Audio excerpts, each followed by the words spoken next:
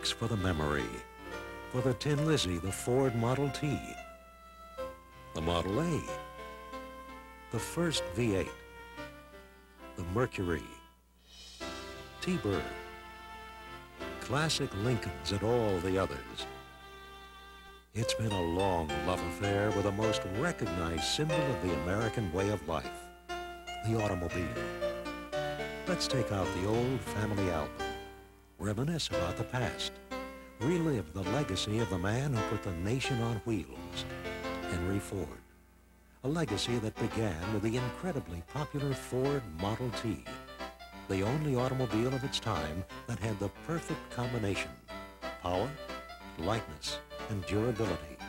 All of this at a price the average family could afford. During the 1920s, it set an amazing record. 60% of all the cars on Earth were Model Ts. In 1924, the word affordable took on new meaning when the Model T Roadster sold for $260. Henry Ford, a living legend, created the Model T. It was 1908, five years after the Ford Motor Company opened its doors. The inventor ran through the alphabet until he struck gold with the letter T. And what a success. By 1913, to keep up with the ever-increasing demand, an inspired Henry Ford introduced the industry's first moving assembly line. By the 20s, he was turning out thousands of cars a day with an efficiency that astonished the world. A moving assembly line with every part made to fit perfectly.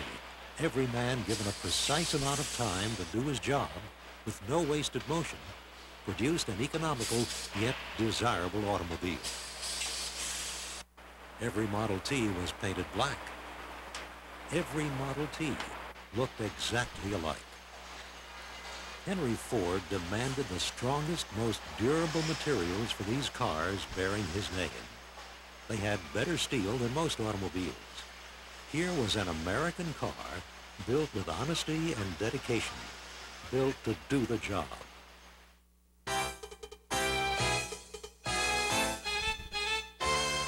The Model T was tough as nails, a genuine folk legend.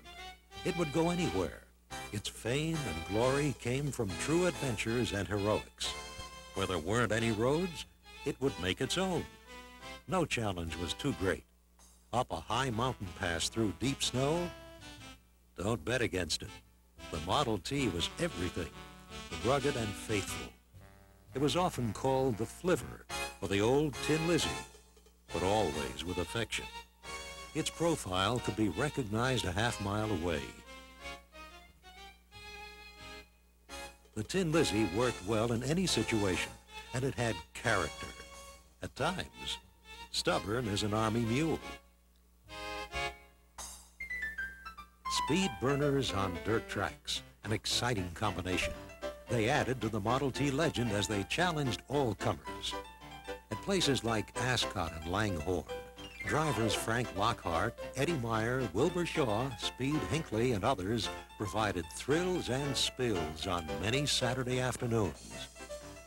Ford's lightweight spider-like chassis was a natural with special wheels and bodies and engine equipment like Rajo and Frontenac, it completely dominated this kind of racing all through the 20s and 30s.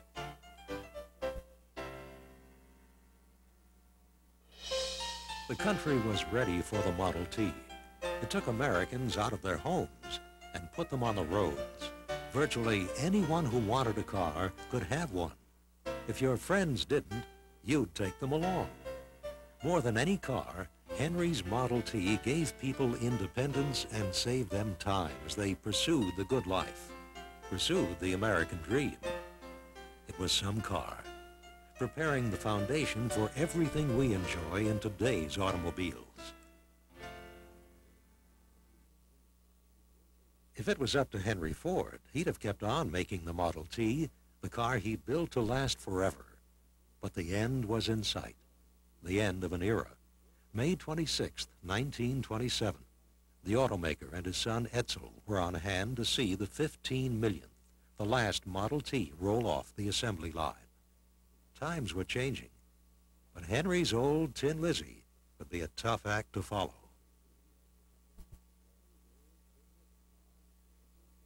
The Model T had become the national automobile. Now, Henry Ford had to create something even better. It took seven months of hard work and millions of dollars to retool before he had what he wanted. It was a new car, so completely new that the motor genius went back to the beginning of the alphabet. He would call it the Model A.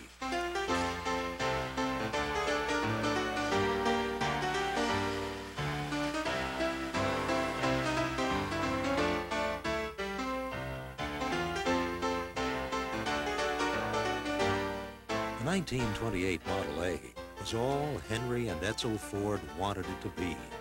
Simple, yet everything new and up to date. From the chassis with a quick four-cylinder engine, four-wheel brakes, and sliding gear transmission, to the body's more sporty lines. When it made its debut, it was easily the greatest new model introduction in automobile history. There hadn't been a new Ford in seven months. 10 million people turned out to see the Model A in the first day and a half. Hundreds of thousands of orders were taken. One of the first to take delivery of a new sedan model was cowboy humorist Will Rogers, a longtime Model T owner.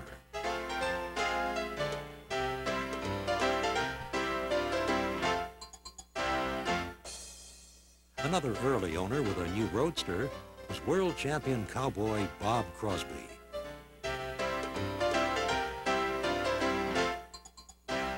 The new Model A Ford received so much national publicity that it was becoming very fashionable to be seen in one. Actress Dolores Del Rio got her chauffeur one of the new Sport Coupe models, one of the first in Hollywood.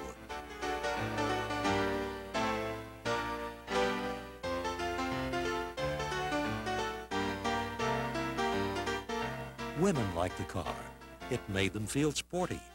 It had the kind of style and dash that fit the high-living American lifestyle in this era of ragtime jazz, the short skirt, and buying on time.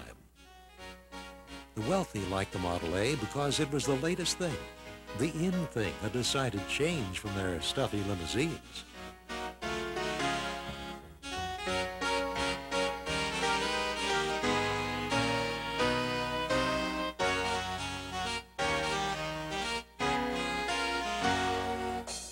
Demand for the Model A rode a crest of prosperity.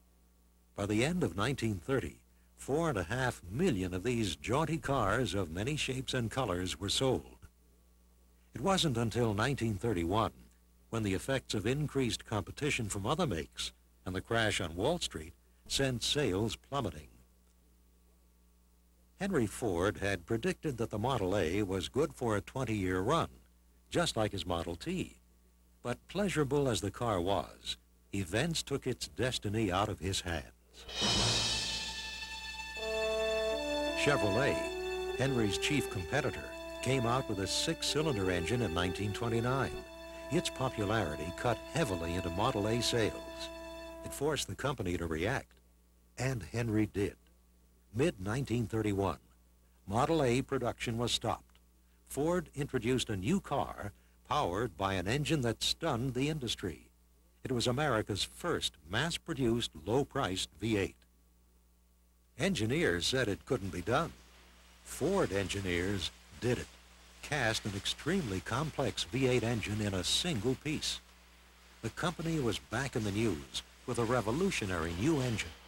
At 65 horsepower, it was not only more powerful and smoother than its competitor, the Chevy, but for about the same price, it took up no more space than the old four-cylinder. It was the birth of a legend, the first of the soon-to-be famous Ford flathead V8s, engines that would dominate America's fascination with fast cars for the next 22 years. Henry and Edsel Ford, father and son, watch as their first V8-powered car is assembled at Dearborn, Michigan. The date, March 9, 1932. Henry created the new engine, Edsel the styling. Styling that resulted in this unforgettable car. Beautifully detailed from the classic radiator shell back It had rounded lines and a body slung low over a fast chassis. The 32 Ford had the perfect balance of proportion that would make it one of the most popular cars of all time. Offered with an optional Model B four-cylinder engine, the cars came in a wide choice of body styles, like this fashionable Victoria at $600, or the sporty all-weather Cabriolet at 610. Newsworthy and exciting, yes, but for the new Ford V8s, the timing couldn't have been worse. Jobs and money were scarce. It was 1932, the Great Depression. Cars were hard to sell. Crowds jammed the showrooms to see the new V8s, but few had the hard cash to buy one. The economy had hit bottom. and By midsummer, sales were so slow, dealers were holding open-air shows, giving free rides in a bid to drum up sales. Unscientific, but entertaining. Riders in an open Phaeton model are told, see how the V8 sticks to the road. But enough Americans did buy those first V8s. Henry Ford was on the right track with his new engine. The 32 Deluxe Coupe gave a hint of what lay ahead in styling. It was the first Ford with racy front opening doors. The 1933 V8 set the pattern for a complete styling change every two years throughout the 30s. And what a beauty. Winged front fenders, heart-shaped grille, rakish body lines, sheer poetry on wheels. It was state-of-the-art body design matched to the fastest, strongest, most flexible chassis in its class. The stunning new 1934 Ford was basically the same car, but with more horsepower and a few classy refinements. The Depression was easing, and improved economy meant more people buying cars, more people traveling to places like the 1934 Chicago World's Fair, where Ford offered free rides at its big exhibit. That June, the millionth V8 came off the assembly line.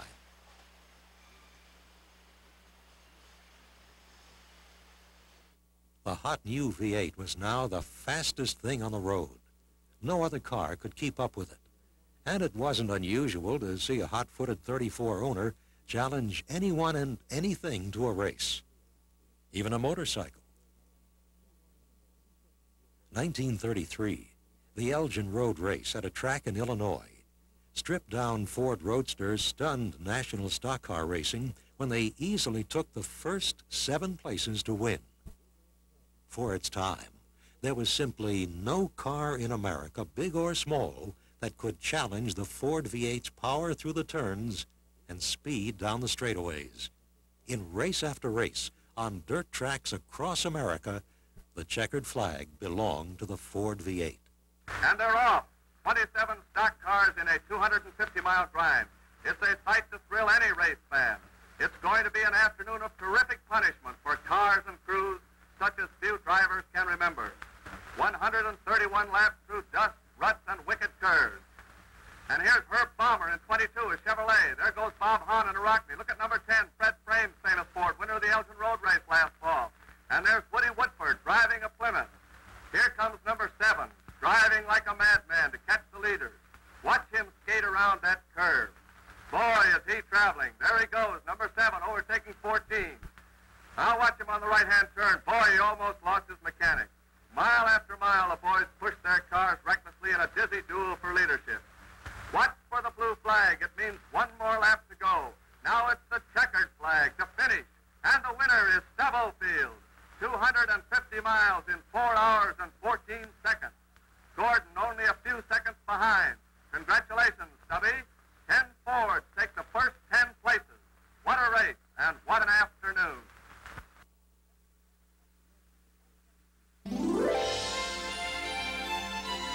It wasn't until 1935 that the fast and popular Ford V8s beat Chevrolet in the all-important sales race.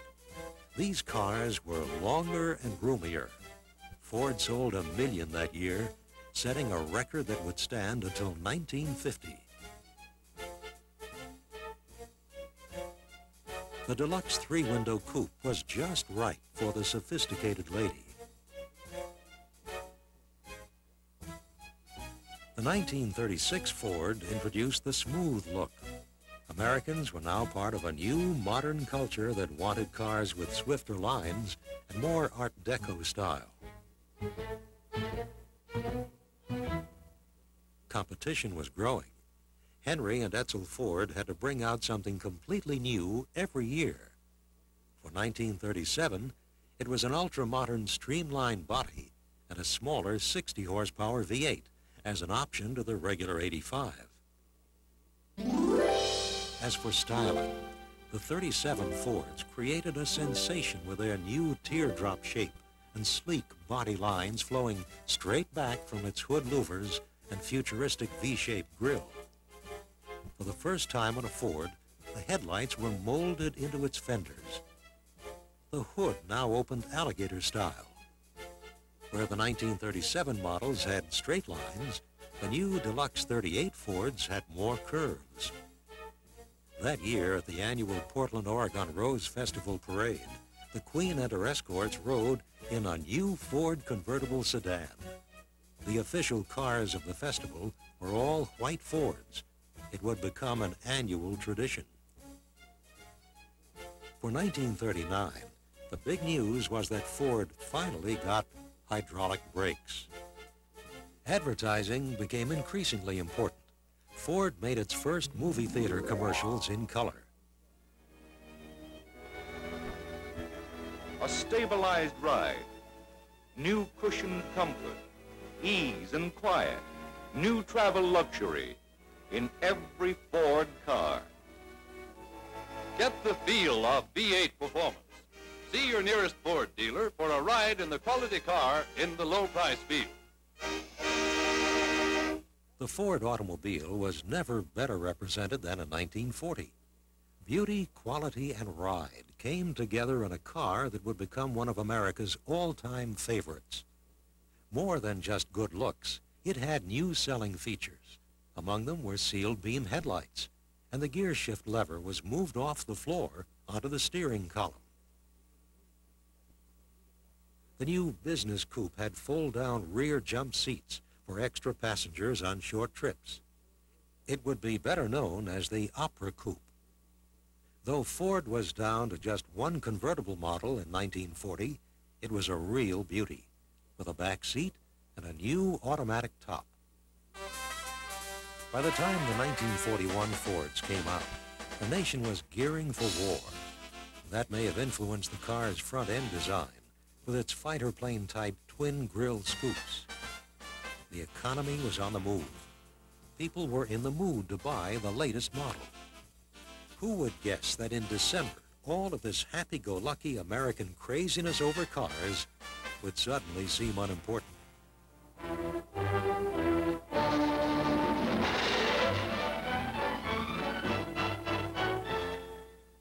While the Battle of the Pacific spread today over a 5,000-mile front, the United States formally declared war on the Empire of Japan. Following yesterday's shattering and unprovoked attacks by the Japanese on Hawaii, the Philippines, Guam, Wake, and Midway, Congress met today at noon. By 4.15, the resolution declaring war was passed without debate and signed by the President, and the United States was at war. Ford's new models had already been introduced when the war broke out, but all civilian car production was stopped on February 10, 1942. Ford had a new mission. They would build military equipment for the Allies. In the service of America, Ford, the mass builder, has made thousands of Jeeps.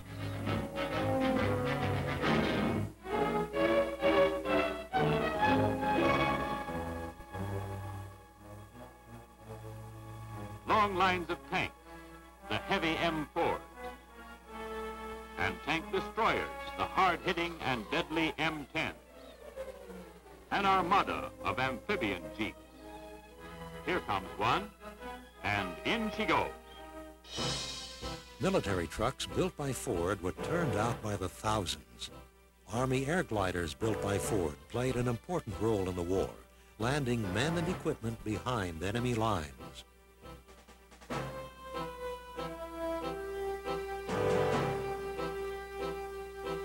The company created a miracle at its big Willow Run plant.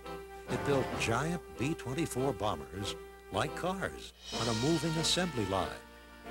In 1944, B-24s were coming out of Willow Run at the incredible rate of one finished bomber every two hours.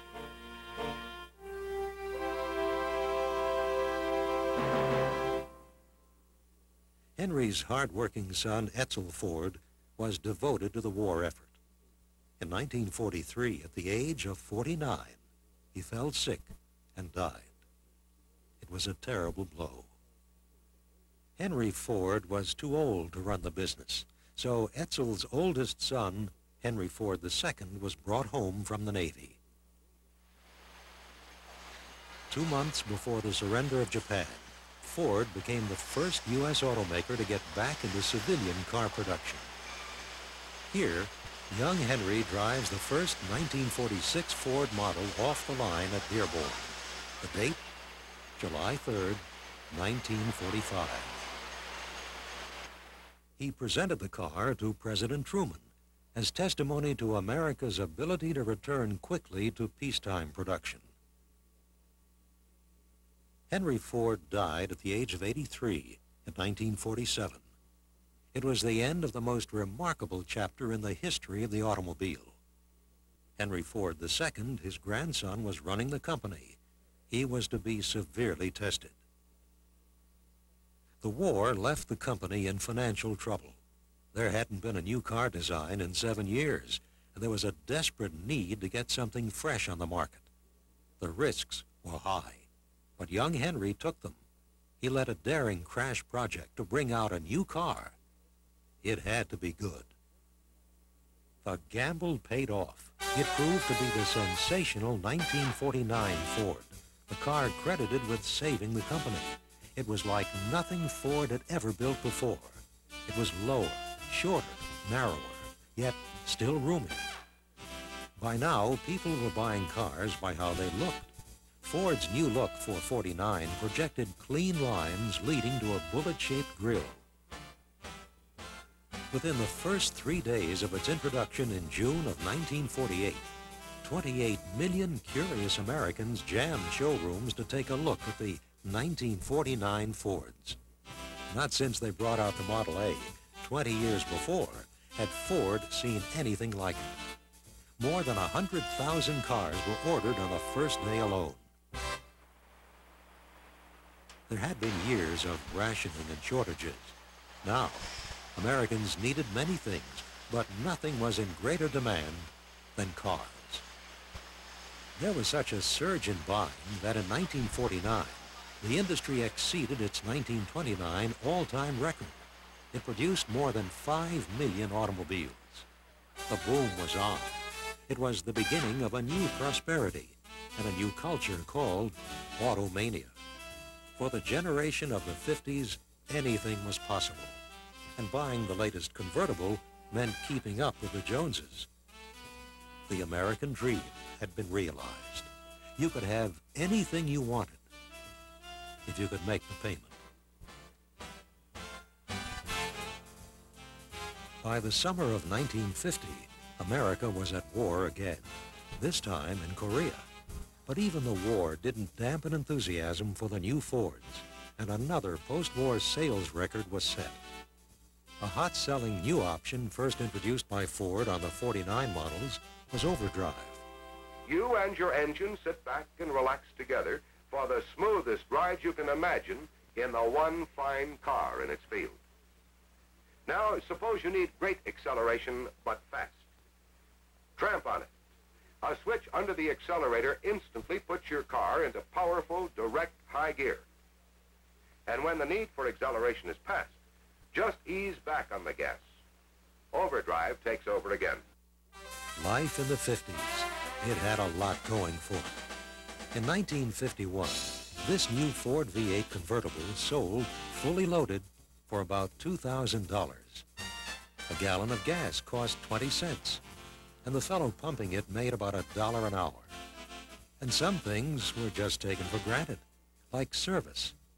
Anytime you stopped at a gas station, there was the usual free check under the hood, a complete polish of all the glass, and probably a check of the tire pressure all around.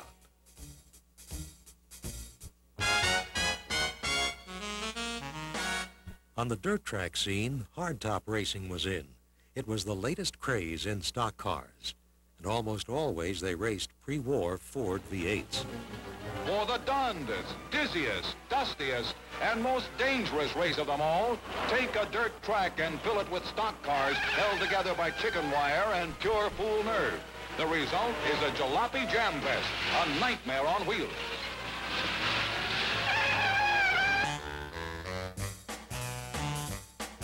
Hot rodding, born in the 30s and 40s, reached its greatest popularity in the 50s, symbolized by the 32 Ford, the most popular car ever to hot rod. The craze swept high school campuses across the nation. Once again, it was the Fords that dominated the scene with their youthful styling and quick flathead V8 engines. Every good-sized high school had an auto shop. It was here that many future automobile careers got their start. Cars were hopped up, chopped, channeled, and raced at the drop of a wrench. This led to scheduled drag racing at old abandoned airstrips. Here, hot rodders would pioneer the speed and safety developments seen at these kinds of events today. Customizing, a more sophisticated form of hot rodding, reached its zenith in the 50s. Today, it's considered a uniquely American art form. Ford sponsored a custom car show at Dearborn in 1956. These were among the entries. This 1950 Ford Club Coupe and this chopped and sectioned 48 Mercury. In 1953, Ford celebrated its 50th anniversary. The company had come a long way since the Model T.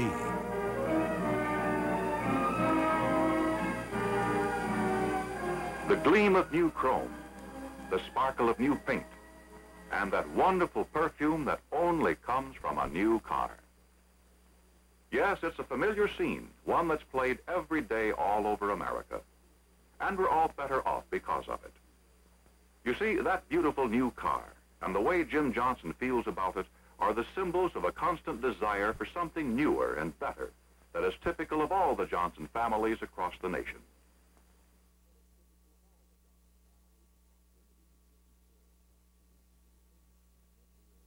1954 marked the end to the famous Flathead V8 after 22 years. It was replaced by Ford's first overhead valve V8 engine, the Y block. There were other new Ford features this year. A man's work is from sun to sun, but a woman's work, well, that practically stops the second she slides behind the wheel of a Ford. With a touch of a button, she can raise or lower the seat or move it forward or backward automatically. She presses another button to raise or lower the windows. Now she moves the automatic lever to drive and enjoys automatic shifting no matter how many stops and starts she has to make. Americans were growing fond of European sports cars, and when Chevrolet's Corvette entered the two-seater market in 1953, Ford wasn't far behind beautiful new 1955 Ford Thunderbird was introduced to the press by company chairman Henry Ford II. It was September 1954. Base priced at $26.95 with a removable hardtop and quick 292 V8, it was an immediate smash hit, outselling the sluggish Corvette in 1955 nearly 24 to 1. The sporty new T-Bird, as the public would call it, was more than good looking. It was fast.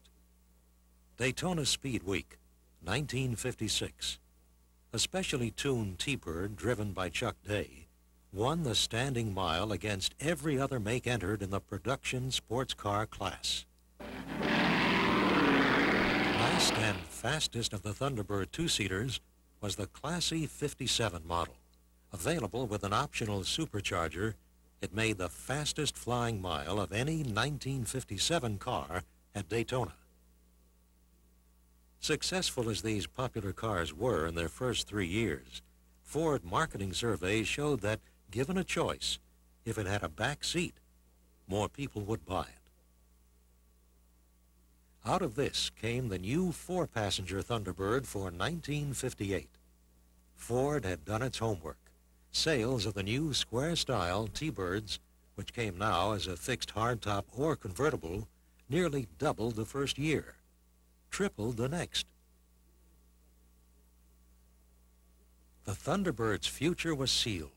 It was now a family luxury sports car. 1961, the projectile look with full-length body sculpturing.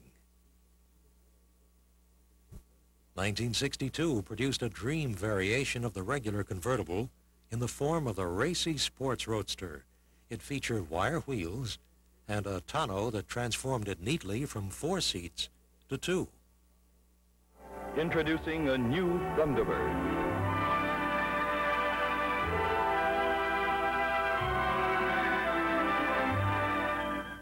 So different. So beautifully different.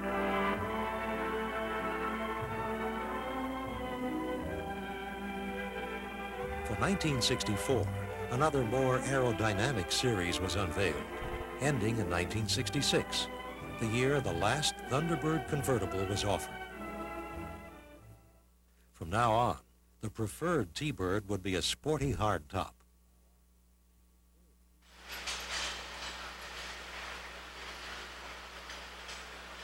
Meanwhile, back in 1955, the Ford line for that year got a fresh new look. Glitz and glamour were in. The car's most striking feature was the full-length body molding that dipped at the door to divide some splashy new two-tone color combinations. Top of the line was the new Fairlane, named after Henry Ford's home in Dearborn. Pictured here as a backdrop to a 1956 two-door Victoria model. The colorful 56 Fords were a little changed from the 55s, except for trim and some new safety features. In 1957, the latest rage was tail fins. That year, Fords were modest compared to others. Considering the period, a time of silly extravagance, the car's styling was fairly clean and simple. The most talked about car of 1957 was the new Ford Skyliner. Just about 50 seconds, less than a minute to change from a hardtop to an open-air car. The world's first and only true hardtop convertible. That's the Fairlane 500 Hideaway Hardtop. In late 1955, Ford Motor Company offered one of the most stunning cars of the decade, the top of the Lincoln line, the new and very limited production Continental Mark II.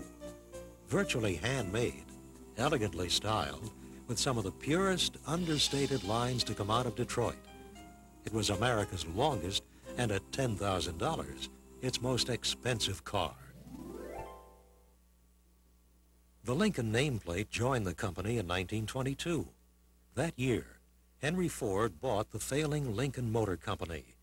His young son, Edsel, was given an assignment. Make it into one of the great names in luxury cars.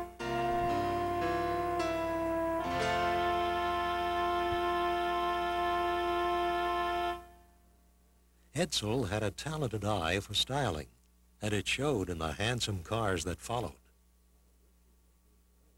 By the end of the 1920s, the ritzy Lincolns were not only a favorite of high society, but fast enough that Chicago's police department bought a fleet of them to go after Al Capone. Another Lincoln fan, Detroit's police chief, carried out his duties during the Depression in his big 1932 staff car. That same year, the pace car for the Indy 500 race was one of the beautiful new roadster models. The driver was Edsel Ford. The 30s were the all-time classic years of the automobile for grand scale, style, and embellishment. There was a national depression. Competition was keen. Yet, it was during this remarkable time that Lincoln would produce some of the most beautifully designed and exquisitely built cars ever made in America.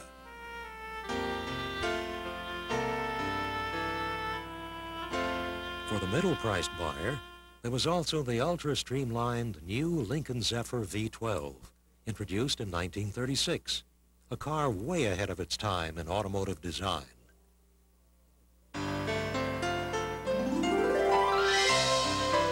Edsel Ford and his Lincoln designers created a car that is considered one of the true milestones in automotive design. The year was 1940. The car was the Continental. That first Continental, those that followed, won many fans. The series ended in 1948. By the early 1950s, most of these beautiful cars were in the hands of admiring Continental Club members. Ford undertook a major redesign of all its cars in 1949.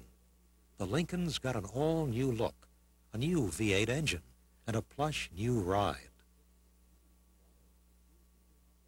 In the 1950s, buyers could choose between several luxurious models, among them the Capri and the larger Lincoln Cosmopolitan. The spiffy Lincoln Premier made its debut in 1956. The car was offered in a glamorous choice of colors. It won the Industrial Designers Institute Award that year for excellence in automotive design.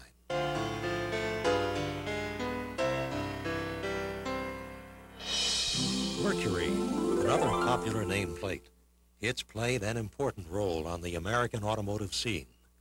Placed in the middle price bracket, it was introduced in 1939.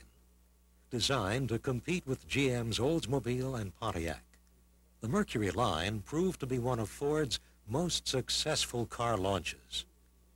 A winner right from the start. It appealed mostly to a rising new American middle class, offering the right combination of power, comfort, and sporty good looks. The new Mercury for 1949 continued its winning ways with a low silhouette and shapely lines.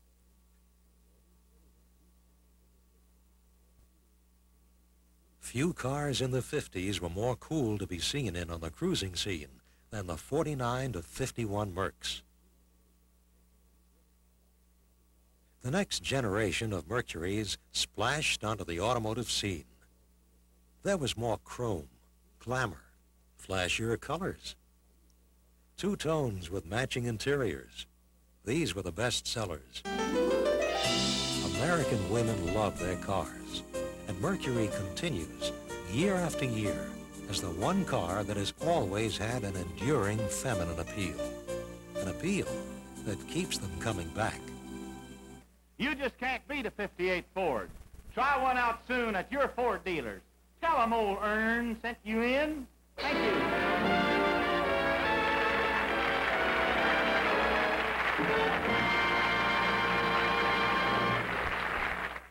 The 50s gave us some of our most unforgettable cars. Cars that would come to symbolize an era of bold, glittering excess. The 60s paid homage to youth and all-out performance. Live a wondrous new life in the Fords of a lifetime.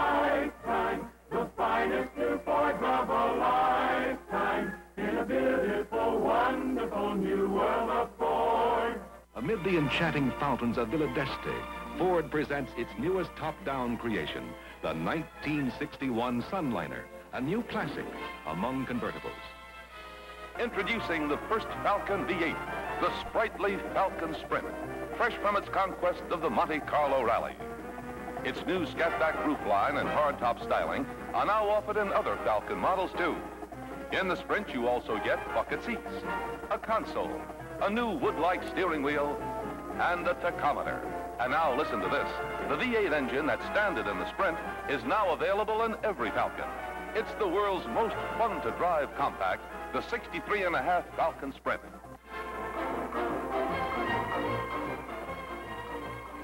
The American auto industry produced a generation of exciting cars in the 60s, but nothing compared to the Ford Mustang. No other car even came close to challenge its success. Introduced in April 1964, it would become the car of the decade, starting the pony car craze. The Ford Mustang appealed to anyone with a youthful spirit and a sense of adventure. For Detroit, the Mustang was a completely new concept. It combined sports car size and looks with hot performance, low price, and a back seat. All this with a choice of so many options, a buyer could just about order one tailor-made. The cars were an American phenomenon, a sensation. Ford couldn't build them fast enough. Later in the year, a racy fastback 2 plus 2 model was offered with additional performance options that made the cars even more desirable. The booming youth market had arrived. Ford read the trend correctly. By the time the snappy 66 models came out with exciting options like the new GT package, there were more than 700,000 on the road. 1967 saw the launch of a slightly larger Mustang series. This gave the car a smoother ride and wider appeal. Though it took the edge off the buying stampede, the cars were still the most popular by far in the pony market they created. The milestone 2 millionth Mustang, a Candy Apple Red GT, came off the line in 1969. All-out performance was king in the marketplace, and the advertising theme that year said it all. It's the going thing. By now, Ford Speed Merchants had put a thundering new American legend on the road. Mach 1, special sports performance, sports roof Mustang. An 8 so hot performing, it comes with its own poke-through air cleaner that jumps when the engine growls. Mustang, Mach 1. Color this one hot. There would be other fast and famous Mustangs, like the 1969 Shelby GT 500 Fastback, one of a series of high-performance cars built jointly by Ford and racing great Carroll Shelby. Interest in performance cars had become a national craze. It grew in direct proportion to the booming 60s youth market.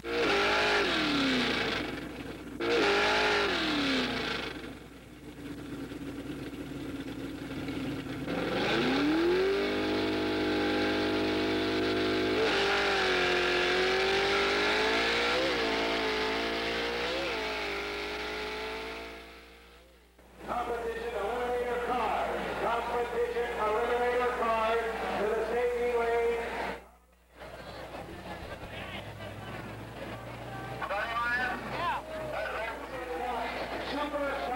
Ford Motor Company was into racing in 1963. It moved into high gear in 64 when it offered ground-shaking new 427 Mercury Comets and Ford Thunderbolts to top drivers in national drag racing.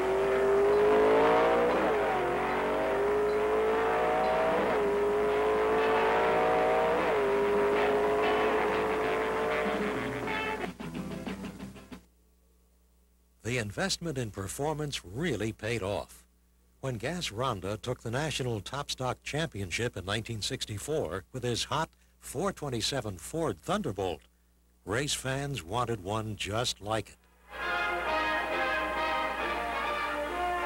This is Van Patrick at Riverside, California, home of the rugged Riverside International Raceway, where the first major race of 1964 was held Sunday, January 19th. Stock car racing was hotter than ever, and Ford was back in a big way, sponsoring some of the top race teams and drivers with the new high-performance 427 Ford Galaxie. Ford's Lincoln Mercury division sponsored its own Mercury race teams. They chalked up some impressive wins. In 1968, Cale Yarborough, driving a Cyclone, won the 500-mile races at Daytona, Darlington, and Atlanta. 1966, Ford's most dramatic effort on the track. The company built the ultimate race machine, the GT40, to enter Europe's most prestigious race, the 24 Hours of Le Mans.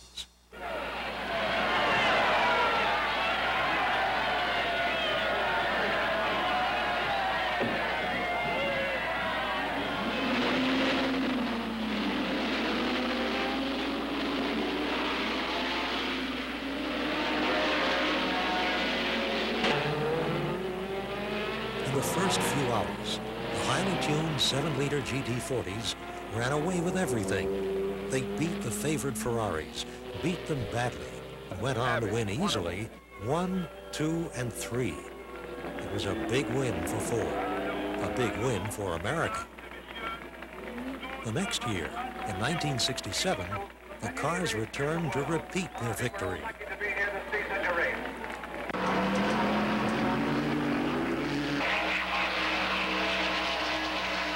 Boss 302, Mach 1, 428 CJ, 4 on the floor, high performance, all part of a new language in the 60s. These were exciting times to be young in America and into cars. If you liked what you saw on the track, your Ford or Mercury dealer had just what you wanted for the street. In the new language, it would be called the muscle car. For the first time, a Fairlane convertible GT model, packing a 389 cubic inch V8. Deep down, still Fairlane rugged, Fairlane reliable. But what a beautiful difference for 66. The 7-liter hardtop with a standard 428 cubic inch V8. It's the Mercury Cougar 7-liter GTE with its own distinctive blackout grille, specially styled rear end, and a two-tone side treatment. Underneath the twin air-scooped hood is 7 liters of punching power. Torino convertible GT style. GT Flair, open air style, with new evidence of how Torino continues to pace its field. I think you will agree that we have good cause for satisfaction with the company's recent performance. The result for 1970 reflected in large part your management's strenuous efforts in the first quarter of this year. An inspiring address is given by Mr. Edsel Ford, president of the Ford Motor Company. This company has had a great deal of experience in the course of its 33 years of manufacturing. And one thing it has learned is that the principles on which it is founded are pretty sound and they wear well in all sorts of times. Your job is one of which you may well be proud. And so Henry Ford has left an incomparable legacy in his cars. Cars that put a nation and the world on wheels. Ever changing in the transformation from the old faithful Tin Lizzie to the cars that through the years have come to symbolize our love affair with the automobile. Thanks, Mr. Ford. Thanks for the memory, the fun, the romance, and the nostalgia. Thanks for all those wonderful cars that have been so much a part of the American dream. Harry, let's do a song. Sweetheart, if you should stray a million miles away, I'll always be in love with you. And though you find more bliss in someone else's kiss, I'll always be in love with you. I can't do any more I've tried so hard to please. Let me thank you for such tender memories. I wish you happiness.